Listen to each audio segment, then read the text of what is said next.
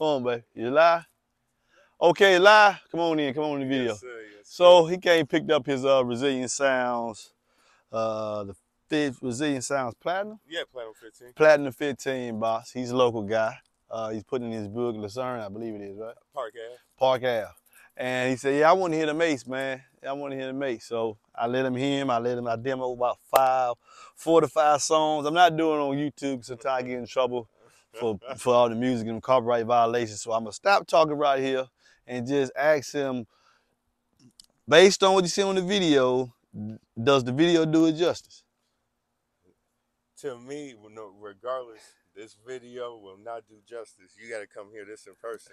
when you come hear this in person, your whole perspective is going to be like, what is inside the back of this? Because, like I said, until he sat there and explained everything fully detailed, don't matter how good you got a listening ear, you would have never known what side of sells as those are in the back. And I was just completely just blown away. And I already knew, like I said, I'm dealing with somebody who's not no, you know what I'm saying? This ain't no minor, this ain't no minor league or anything like that. He a full blown expert. That- That's why I asked to get a box built. But to see something in the back of a pickup truck like this, and I'm talking about chest rattling, I mean, sinus pressure probably already gone, ear eardrums probably blown way out the normal. But like I said, to hear something like this, it was well worth it. I'll do it all over again. When I put that when I put that song on I Hate You by SZA, did you what did you see happen on the windshield? Oh man, them wipers,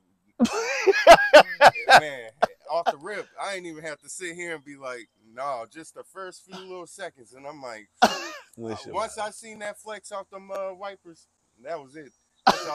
Everything else is just uh, extra. It was just a bonus. But once I seen the flex, I was like, I was completely blown away.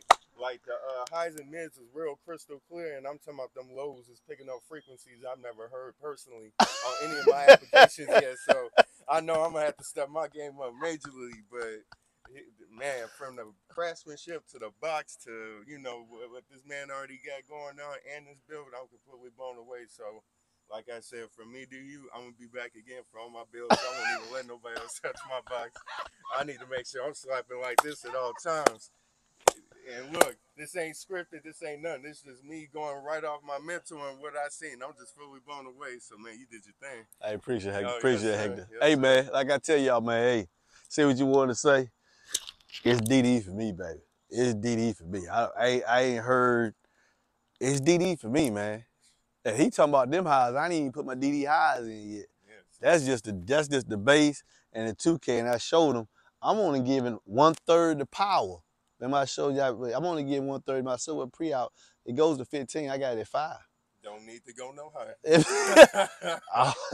So by switching from the Fosgate to the M2000, got each one on the M2000 at one third the power, and I told you to go to 40, and I and we was just we, we demoed at 28. Yeah, so we not even hitting the 30s or anything. We didn't even th- we didn't I haven't even gave him full power, and it's just man, get it. You need to close to four four six nine four four eight one eight. I don't care what the haters say, man. It DD for me. I'm pretty sure he come back. He gonna it gonna be DD for Oh, him yeah. too. Yeah, no doubt about that. I ain't even have no debate, no argument. I ain't about to sit here and listen to what anybody got to say, but just what I just witnessed.